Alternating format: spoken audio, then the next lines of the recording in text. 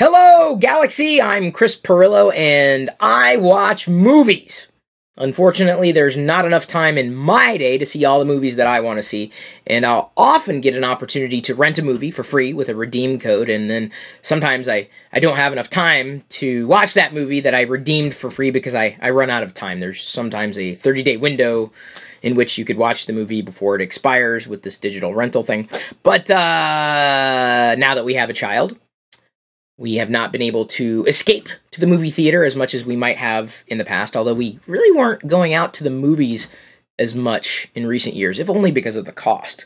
It's kind of outrageous. I'd rather wait to own something physical, dare I say, collectible, when it comes to watching movies. I mean, why spend the same amount or virtually the same amount of money on a movie ticket when you can walk away with something physical that you can watch over and over and over again. Now, I know some people would say, well, it's the experience that you get in the theater with strangers in the dark and sticky floors and snacks that you're not in control over. Uh, I know it's an experience. And yes, I do plan on seeing Rogue One. Star Wars is always, always, always, always, always the exception to a rule it's kind of an unwritten rule around here. We just don't go to the movies. We don't. Both Diana and uh, I enjoy documentaries, really. And uh, I enjoy sci fi and, and, and, fantasy. Uh, I have a chance uh, in uh, the time that I might have, the extra time I might have at the end of the day, to binge on uh, episodic content that is non movie ish. But I still like watching movies especially when they are just released because the people I follow in social are talking about everything related to the movie, right? It's this blitzkrieg of attention. But I tend to wait until a movie is available on some kind of disc or it's available digitally. And even then, I look for opportunities to, uh, you know, see what I can do to you know, possibly spend less. Who wants to spend more, right? So always, always, always, always search for discounts and bargains on the things that you want, especially in relation to collectibles. So, when an opportunity came around to talk about my picks for movies this holiday season in a, a gift guide for movie buying, specifically discular movies, physical movies, does that make sense? A physical movie that you could watch over and over and over and over again, potentially digitally. Uh, of course, right up there was Star Wars. They just released uh, the Blu ray 3D edition of The Force Awakens with a few deleted scenes that I was really excited to see. Still very much excited to see it. I'm hoping that Santa Claus delivers that on Christmas morning for me. I don't know yet. It's on my wish list. It's a long wish list, very long wish list that's in there. Uh, that is one of my picks, but I don't have it, right? But I do have a few others that were sent to me. And you want to talk about being grateful? I'm very grateful for that because uh, the movies that I enjoy watching aren't just relevant to pop culture, but they uh, uh give me a chance to escape. Uh, and I realize it's kind of weird to talk about loving documentaries, which kind of surface reality, but I enjoy movies that allow me to escape and, and not think just for a brief while just just just a tiny bit. So I'm not a movie critic at all. I, I, I, don't really review movies. I don't. It's not it's not my thing. I just enjoy them. I'm like, oh okay, cool. That's it was a movie. Gave me a chance to just escape for a moment. It's how I view movies, not in a reviewing capacity because I suck at reviewing. I just talk. So if you want something that's far more entertaining than me talking about movies and experiences with movies and what have you. Uh, very grateful that I now have a physical copy of Aliens. This is going to complement my Alien action figure. Very happy to have that action figure. The action figure, however, was acquired earlier this year. You might remember from the vlog.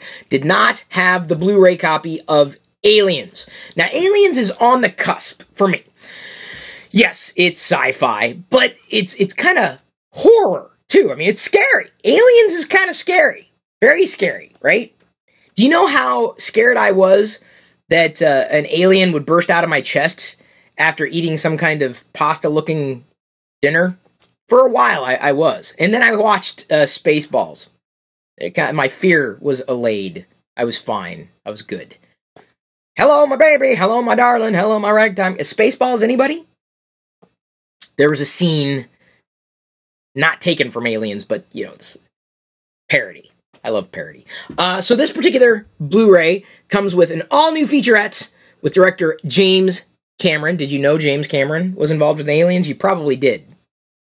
I I I did as well. But it's like one of those little details you just kind of forget about and then like, oh yeah, I forgot about that. No need to forget about it again. I do plan on making Diana watch Aliens because she hasn't seen it. She hasn't. She needs to see this. You need to see these movies because they're a part of culture, pop culture. Not just geek culture, just pop culture. Aliens. It'll explode out of the, the shelf, the virtual shelf, and into your hands. Like here, should I just like pop it out of the shirt? Too far? Too soon? Okay. I'll move along to a superhero movie. Do I, I dare call it that? Not really superhero movie. Comic book movie character. Very uh meta. That that was the word I chose to use when I saw Deadpool. Not this version of Deadpool here, the one that comes with a collectible, uh, the Deadpool 2016 holiday photo card. See, it's collectible. There's a good Santa Deadpool. Uh, very self-aware, and I think that's why I like Deadpool a lot. This isn't a review, but it was just uh, breaking through. What do they say? The breaking through the fourth wall, right? Meta is is that? Uh, I think that's the best word I, I could use to describe what uh, my experience with Deadpool was. Enjoyed Deadpool a lot, uh, but I only rented Deadpool for like 48 hours uh, with a redeem code. Uh, Diana has not yet seen it, and I think she will enjoy it. She's not really into the action movie stuff as much as I am, but the humor is so dark. It's delicious. It's deliciously dark. If you've not yet seen Deadpool, you have to. People were right when they recommended, hey, Chris, you should see Deadpool. I did. But now I can see it over and over and over and over and over and over and over again. Mm-hmm. Blu-ray, DVD, digital HD. See, that's what I love about these, uh, the Blu-rays, uh, because they will often come with the ability for you to watch them anywhere, anytime, digitally. Right? You don't have to repurchase. Love that. Love that. Uh, the next one on my list is now on the floor. also, one that I have not yet seen. Saw it teased. Very interested. I like superhero movies. I like comic book movies or movies based on a, a comic series, generally speaking. I'm not going to get into the whole DC versus Marvel uh, because, you know, I've got my favorites, certainly. Uh, but X Men has, has been some of my favorites. Wolverine, certainly, uh, one of my favorites. Uh, here we go. Professor X right there in the middle. I know him. Sansa Stark is in this movie. The actress Katniss, she's also in this movie. Am I crossing the streams? I apologize. Not really. Have not seen this? Have the redeem code sitting on my desktop to see this, but the time is going to just go by. But now I can take my time and watch this movie over the holiday. There's never really a, a, a bad time to watch an X Men movie.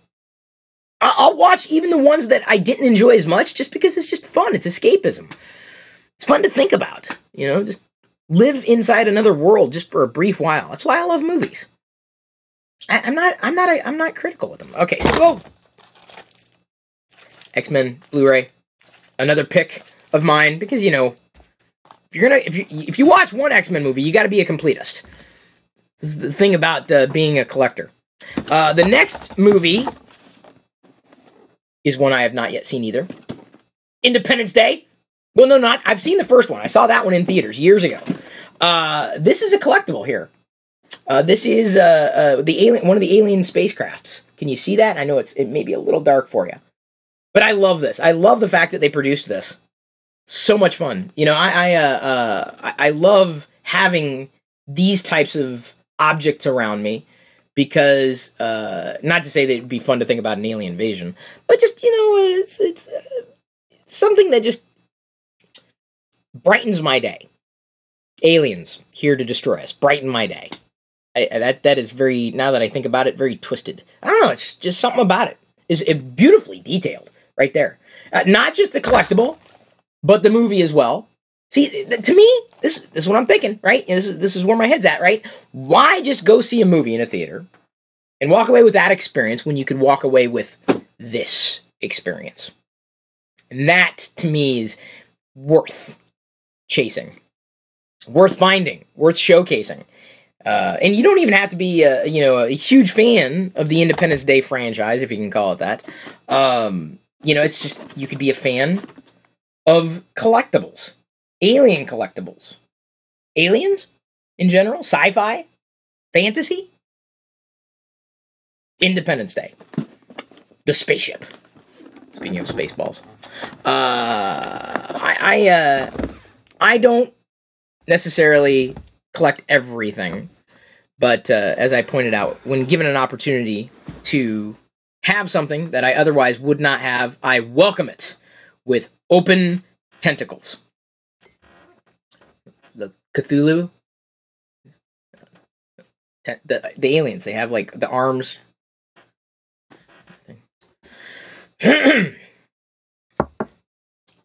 Never thought that. Uh, a virus written on uh, uh, uh, an old Macintosh computer could topple an alien civilization until I saw Independence Day. Just some thoughts, some choices, opportunities for you to expand your library. Physical media is still a thing, even with digital media on the cusp. Have them, if only for collectibles' sake. Chase the collectibles. That's what I say. Mm-hmm because that's what aliens do, right? That some of them collect as they they go around in different places and planets to invade. They collect, right, just to showcase. Hey, look what I got! A human skull. I don't want to collect that. That's not my thing. This is just a, a I, spaceships.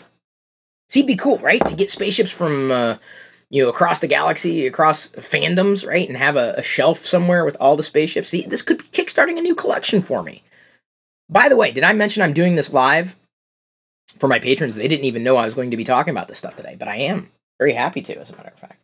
I've heard a lot about the arrival uh, as well, but I'll wait until there's a collectible. That's that. How do you get Chris's attention? Say the word collectible, right? And then, then for some reason, then I'm in. it's very bizarre. Figures, love the figures, love the figures, but even spaceships. Ah, uh, you may have different choices. You probably do in terms of a movie you would want to receive as a gift or give as a gift potentially if you think that somebody else is going to like it. I, I still remember one of my first uh, uh, gifts, movie gifts. Um, not going to say who gave it to me, but I'm not sure if they quite understood me as well as they thought they did. I got uh, Throw Mama from the Train on VHS. This is back in the day when uh, uh, VHS was a thing. I watched it. It was a gift. It, it wasn't a bad movie. I enjoyed it, but uh, it was a weird gift, very bizarre gift. Throw Mama from the Train on VHS. Uh, not collectible. Unless, of course, you, you collect VHS tapes. I guess you can collect VHS tapes. Some people do. Okay, uh, I've said everything I needed to say today. Uh, thank you again if you are a patron of mine uh, for joining me, and there are a few here and there are a few out there in chat world.